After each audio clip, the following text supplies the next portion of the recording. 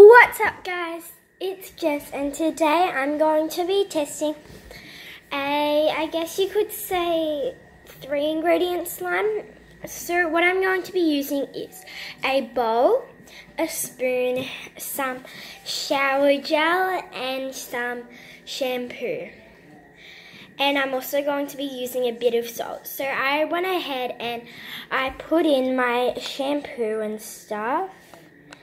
All in there. And I'd recommend using thick shampoo. Then just mix it all up. Ew. And then you're just going to put it in the freezer for about an hour or put it in the fridge for about two hours. I'd recommend the freezer. So I'll be back in a second, guys. Alrighty guys, I'm back and this is the best I could get. Uh, it's really cold and numbing.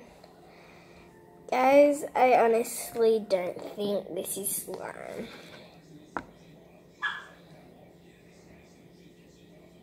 Look at that. It's gross. It's so cold and weird. I mean, you could use it for soap, I'm guessing, or for the shower.